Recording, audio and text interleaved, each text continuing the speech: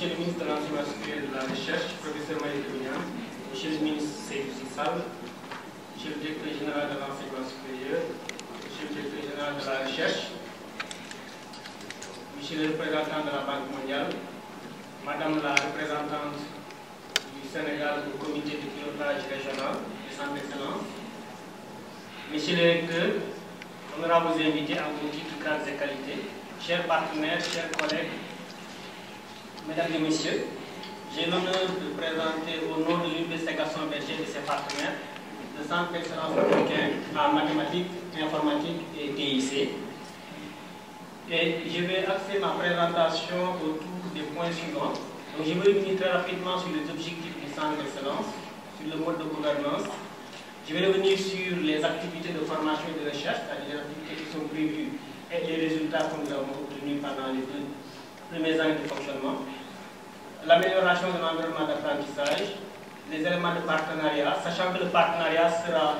Euh, on, parlera du partenariat dans toutes les activités. Puisque dans la plupart des activités du centre d'excellence, nous avons un, élément de partenariat.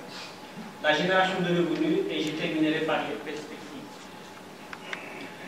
Euh, pour les objectifs du centre d'excellence, l'objectif général du centre d'excellence africain en mathématiques, et TIC est de changer les dynamiques de l'accès à l'emploi en formant une main-d'œuvre de qualité et en connectant les acteurs demandeurs et prestataires de services dans le domaine des mathématiques, de l'informatique et des technologies de l'information et de la communication. Cet objectif général se décline en deux objectifs spécifiques. Le premier objectif, c'est de contribuer à augmenter l'offre en formation de niveau master et doctorat en mathématiques, informatique et TIC. Donc le défi, c'est de former plus, d'autant plus que nous devons euh, augmenter la régionalité, donc avoir 30% d'étudiants régionaux au minimum dans nos formations, mais aussi former mieux, et former aussi dans des spécialités peut-être que nous n'avons pas eu la chance d'avoir euh, avant le financement de la Banque mondiale. Et le second objectif spécifique, c'est de produire des technologies innovantes par la recherche, c'est-à-dire aller au-delà de la recherche classique mais aller vers de l'innovation, parce que le domaine, les domaines dans lesquels nous intervenons nous donnent l'opportunité d'innover. Et et pour atteindre ces objectifs, nous nous appuyons beaucoup sur les ressources nationales, c'est-à-dire que nous avons travaillé au-delà de l'Université Gaston Berger avec les universités nationales. Et toutes les activités, nous les faisons en partenariat avec les universités nationales. Donc, ici, en témoigne ces deux formations, renforcement des capacités des pairs à l'approche par compétence, pendant l'atelier pendant lequel nous avons travaillé avec toutes les universités publiques, et cette formation en technologie embarquée qui s'est déroulée il y a euh, moins de deux mois à Dakar avec un, un des partenaires du centre d'excellence et pendant lequel aussi, euh, atelier pendant lequel aussi nous avons travaillé avec les universités nationales. Pour la gouvernance du centre, donc nous avons trois organes de gouvernance. Une unité d'exécution mise en place par M. le recteur de l'Université Gaston Berger, c'est l'occasion de le remercier pour son appui constant. Cette unité d'exécution s'est réunie six fois, donc une, une réunion par trimestre. Et c'est une unité d'exécution qui est euh, aussi, ce n'est pas une équipe de basketball, hein, parce qu'on a un peu plus de membres que l'unité d'exécution de Dakar, mais une unité d'exécution qui a l'habitude aussi de se, réunir de façon élargie avec les chefs de département ou les responsables de laboratoire lorsque des questions pédagogiques ou scientifiques sont, de recherche sont abordées. Nous avons le second organe qui est le conseil scientifique qui s'est déjà réuni deux fois. La dernière réunion s'est tenue le 20 décembre à Dakar, 20 décembre 2016 à Dakar, sous la présidence de, du professeur Lamine Ndiaye, euh, ancien président de l'Académie nationale des sciences et recteur honoré de l'Université Gaston Berger, donc qui est euh, le président de, du conseil scientifique. Et nous avons aussi le comité de pilotage qui regroupe tous les partenaires et qui s'est déjà réuni euh, au mois de juin 2015. Et la prochaine réunion, normalement, devait se tenir avant la fin de l'année 2016, mais pour plusieurs raisons, on n'a pas pu se tenir. Mais je pense qu'on va se tenir très, très, très rapidement. Alors, donc, je vais enchaîner avec la formation qui constitue évidemment l'un des axes stratégiques de, nos activités. Voilà les différentes sous-activités qui étaient prévues dans le domaine de la formation. Il s'agissait d'abord de renforcer l'existant en termes de formation de niveau master et PhD au niveau de nos universités, en invitant des spécialistes de haut niveau, mais aussi des professionnels, mais aussi c'est réviser les programmes de formation, c'est-à-dire profiter de ce financement pour réviser les programmes formation que nous avons au niveau de l'Université Gaston Berger, mais aussi au niveau des universités partenaires. Mais c'est aussi élaborer de nouvelles spécialités de formation, je reviendrai tout à l'heure là-dessus, accueillir plus d'étudiants sous-régionaux, puisque c'est l'un des enjeux euh, du, projet, attribuer des compléments de bourse aux meilleurs étudiants pour aussi garantir l'excellence et accréditer les programmes de, formation. Et à ce titre, nous avons donc, pour renforcer l'existant, nous avons pu financer une trentaine de missions d'enseignement au niveau de l'Université Gaston Berger, mais aussi au niveau des partenaires entre mi-2015 et fin, fin 2016. Nous avons appuyé la révision des masters de l'UFR sciences appliquées technologiques de l'Université Gaston Berger en 2015, donc les masters en mathématiques et en informatique, mais aussi les masters de l'Université Polytechnique de Bobo-Dioulasso, les masters d'informatique en, 2016. Et nous avons financé le, séminaire d'évaluation des programmes de la Faculté des sciences et techniques de l'UCAD en août 2016 pour leur permettre d'évaluer les programmes de formation qui sont déroulés au niveau de la faculté. Au niveau de l'accréditation, le professeur Moro en a parlé tout à l'heure, c'est un élément extrêmement important dans le projet.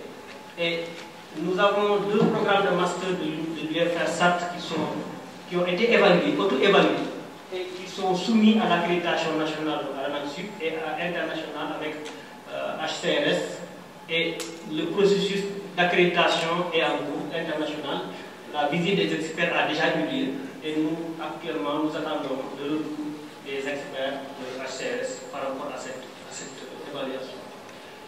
Au niveau des, des bourses d'excellence, que nous avons les bourses d'excellence, c'est les compléments de bourse que nous, que nous attribuons aux étudiants pour leur permettre, euh, pour en fait encourager l'excellence. Au niveau de entre 2014 et 2015, plus de euh, 150 compléments de bourse ont été attribués aux étudiants de l'UFRSAT avec euh, donc au niveau du, au niveau du master.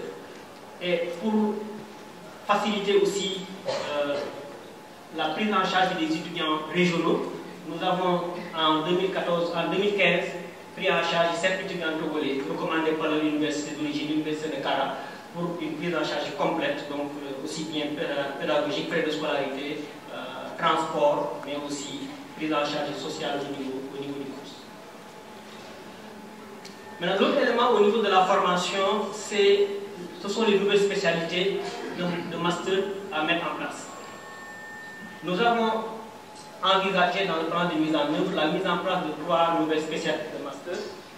Le master de biomathématiques, bioinformatique, le master de cryptologie, codage et application, et un master en système et technologie embarquée et mobile.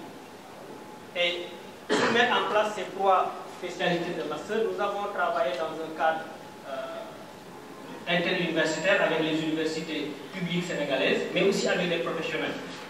L'idée, c'était de permettre euh, de mutualiser les ressources au niveau national, aussi bien au niveau académique qu'au niveau des professionnels, mais aussi faire de sorte que le privé, le secteur privé, soit dans le processus dès le départ, dès l'élaboration des, des projets pédagogiques. Et donc une convention de partenariat a été signée pour chacun des masters par les institutions publiques et privées partenaires. Et cela a permis de réaliser les projets pédagogiques et les valider au niveau des instances des universités concernées. Donc le démarrage est prévu en 2000, c'était prévu au mois de janvier 2017 avec un schéma, le master en système et technologie embarquée mobile à l'école polytechnique de Thiès, le master 1, et le les deux masters culturologie application, le master de biomathématiques et de bioinformatique à l'université Gaston, Gaston Berger. Et dans un cadre de co collaboration donc, nationale. Et nous avons prévu que ce soit des masters pour lesquels la, formation des formateurs se fait au, au besoin. C'est la raison pour laquelle ici nous avons la, formation des formateurs en technologie embarquée qui constitue une discipline euh, nouvelle et qui avec l'aide de l'appui de partenaires Catalyst, pour ne pas le nommer, qui nous a permis donc de former nos, les, formateurs. Et ce qui montre l'intérêt du master par rapport aux, aux, étudiants, nous avons reçu 200 candidatures pour les, les trois masters, ce qui quand même était assez important à mes yeux, pour montrer l'intérêt du master pour les, pour les étudiants, compte tenu des spécificités demandées à, à Au niveau de la, de la recherche, les, les, activités du Centre d'excellence mythique sont de financer des projets communs de recherche, appuyer la mobilité des chercheurs et participer à appuyer l'organisation de manifestations scientifiques avec deux thèmes prioritaires, la modélisation des systèmes complexes, tout ce qui concerne l'épidémiologie, la santé et l'environnement, mais aussi tout ce qui concerne les réseaux et les systèmes sécurisés avec, avec mobilité. Donc voilà les deux thématiques prioritaires de recherche que nous appuyons principalement au niveau du centre d'excellence mythique. Et cela a permis, avec l'appui du Conseil scientifique international, de sélectionner entre 2015 et, 2016, donc lors des deux réunions du, Conseil scientifique, de sélectionner sept projets de recherche à financer pour un financement global de 180 millions de francs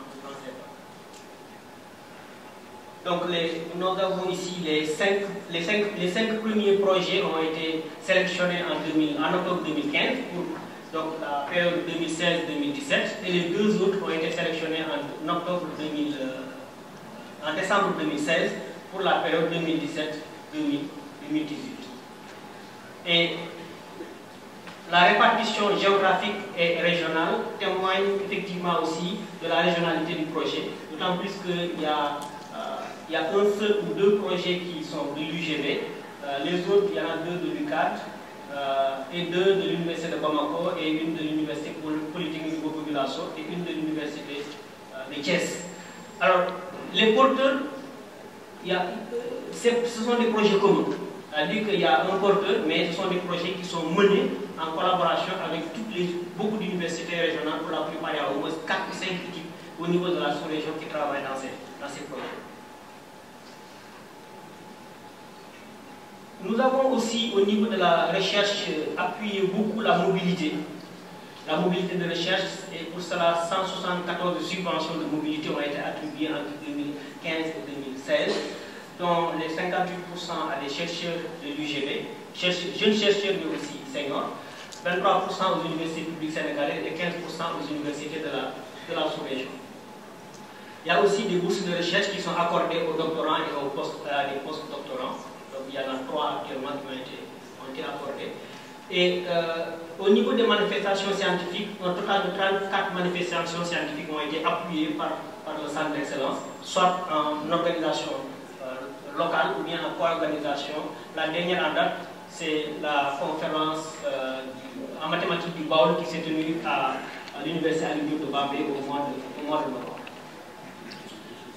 Et c'est ces financements, évidemment, ont permis aussi, je pense, d'appuyer euh, la production scientifique, d'autant plus que les publications scientifiques reconnues par l'AUA dans le cadre du projet, parce que si on, euh, si on compte les publications, euh, toutes les publications, on dépasse ce nombre-là. Mais bon, puisque l'AUA a des règles, nous, nous, avons mis juste les, les publications reconnues par l'AUA telles quelles et, et, qui permettent en fait d'avoir les décaissements. Donc nous avons 111 publications en 2014-2015 et 94 publications en 2015-2016. Si on intègre donc évidemment les chercheurs du centre, aussi bien ceux de l'UFRSAT que des universités publiques nationales et sous-régionales. Et 22 PhD ont été soutenus entre 2015 et 2016. Cette, ce, ce, graphique permet de montrer un peu le, euh, type de mobilité qui est soutenu par, par le centre d'excellence. Et on voit que la plupart des mobilités sont des mobilités pour participer à des colloques et à des conférences. Nous avons identifié quatre axes stratégiques par rapport à la génération de revenus. La formation, évidemment, les frais de scolarité des étudiants, les fonds compétitifs de recherche, les services et le fundraising donc pour avoir des revenus générés. Et nous avons donc ouvert un sous-compte pour récupérer les fonds externes et cela nous permet évidemment de pouvoir, avec l'accord de, de M. de pouvoir récupérer les fonds de certains projets de recherche et de les mettre au niveau du, sous-compte. Et cela facilite aussi la, gestion de ces, de fonds pour les, euh, les, porteurs, de projets. Si nous avons l'exemple du projet WISIAP, qui a un financement de 200 millions d'euros, et nous avons aussi un autre projet qui s'appelle Acasis. il y a plusieurs autres projets qui, qui sont, euh, qui permettent en tout cas que les fonds sont, gérés au niveau de ce, ce sous-compte-là. Et nous avons aussi, dans le cadre des services, avec l'appel à candidature du gouvernement gambien, euh, dans le cadre du, centre d'excellence, euh, obtenu le financement pour, pour, former 67 étudiants en master et en PhD en Gambie. Et c'est un modèle aussi de coopération sud-sud extrêmement important. Et nous nous sommes appuyés sur euh, un projet qui existait déjà et qui avait sous l'autorité de l'actuel ministre et directeur, qui avait euh, accordé à l'Université de Camille 25 semaines de cours par, par, année. Et à partir de cette expérience, ce que nous faisons, c'est que ce sont les enseignants qui se déplacent à Paris euh, et qui déroulent les enseignements sur place, d'autant plus que la plupart des étudiants qui, sont, qui suivent ces cours, ce sont des fonctionnaires de l'État gambien. Donc, ce qui veut dire que ça les arrange, évidemment, que les cours se déroulent en Gambie parce que ça leur permet de rester au niveau de leur administration. Donc, un exemple de partenariat sud-sud très, très pertinent et qui nous permet, je pense, en tout cas, de, permettre à la Gambie de disposer de ressources humaines de qualité. Nous avons aussi les bourses du PAZET, que nous avions postulé à, l'appel candidature programme du PAZET pour accueillir le programme doctoral financé par le Fonds régional de bourse d'études nous avons été présélectionnés, donc les négociations sont en cours et nous espérons que très rapidement nous, pourrons finaliser euh, ce projet-là avec le, le, PACET et obtenir 15 bourses euh, de doctorat en, informatique pour les trois années, trois années à venir. Alors, puisqu'il faut parler de décaissement, donc je vais terminer par euh, les quelques, quelques résultats liés au décaissement. Euh, juste pour dire que sur le plan des résultats liés au décaissement, euh, nous sommes quand même bien évalués et que si on compte le nombre de nouveaux étudiants, nous, avons une progression assez importante et surtout au niveau des étudiants régionaux, nous passons pratiquement du simple au double entre la base baseline de, 80, de 2014 à la première année en 4, donc nous avons 80 étudiants régionaux et la troisième année où nous avons 165 étudiants, étudiants régionaux. Pour publication scientifique, j'en ai déjà parlé tout à l'heure. Et actuellement, le, prochain décaissement que nous avons, euh, qui, qui est en cours, c'est lié aux publications scientifiques, donc nous attendons 565 millions de alors, le taux de décaissement actuellement est de 725 735 387 francs sur les 925 millions que nous avons déjà reçus. Donc, qui constitue un taux de décaissement en tout cas, relativement important si on se limite aux fonds reçus, mais par rapport au fonds global du projet, ça reste relativement faible. Donc, il y a effectivement un effort à faire à ce, ce niveau-là. Pour les perspectives, il faudra exécuter un certain nombre d'activités qui constituent principalement les activités qui seront soumises au Comité national d'examen de cet après-midi dans le cadre du PTBA 2017. Donc, dérouler les nouvelles spécialités de master en restant dans un esprit interuniversitaire, mais aussi en travaillant avec les secteurs privés. Dérouler les projets de recherche qui ont été sélectionnés, les sept projets de recherche sélectionnés par le conseil scientifique et qui sont financés par le Centre d'excellence en ayant aussi à l'esprit un transfert de technologie et de l'innovation dans le cadre de l'exécution de, ces, projets. Mettre en place un accélérateur TIC en relation avec les éthiques et l'incubateur de l'Université Gaston Berger, c'est un travail qui a déjà commencé. Une équipe a déjà été identifiée a été formée déjà par, le, par les éthiques. Réunir le comité de pilotage, parce que la deuxième réunion du comité de pilotage devait se réunir, devait se tenir depuis quelques mois et n'a pas encore pu se tenir dérouler le projet Saint-Louis numérique 2025, qui est un projet de développement territorial à travers l'économie numérique, et que nous avons déjà démarré avec euh, euh, les, communes, les départements de Dagana, de Podor et de, Saint-Louis. Un atelier d'élaboration du plan stratégique a été tenu au mois de, mai 2016 à Saint-Louis. Et euh, il faut juste dérouler, en tenir un atelier de validation du plan stratégique et ensuite chercher des financements pour ce projet qui s'appuie aussi sur la stratégie numérique, sur la stratégie nationale d'économie.